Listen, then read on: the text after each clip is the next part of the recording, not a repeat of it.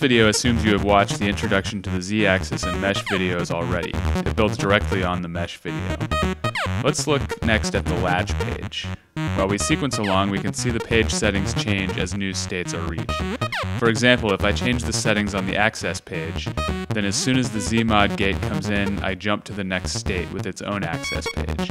But each channel also has a latch page that exists over and above states. Press the currently selected channel button to enter it. We can tell we're in latch because all six program page names are lit. Right now we don't have any locations latched, so the channel's movement is still decided by the access page. But if we latch a couple locations, the channel will now move only to these places, regardless of state. The latch page is not stored and does not change when state changes. It is a non-destructive way to play while sequencing states.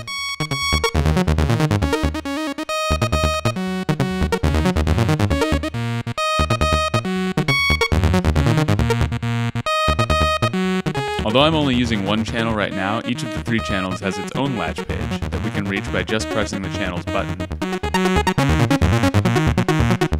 And we can always return to program pages by pressing the current channels button again.